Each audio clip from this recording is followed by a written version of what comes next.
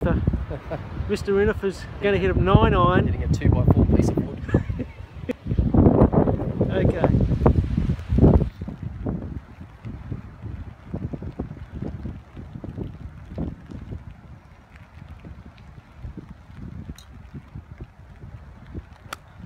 Well, that's a golf shot, folks.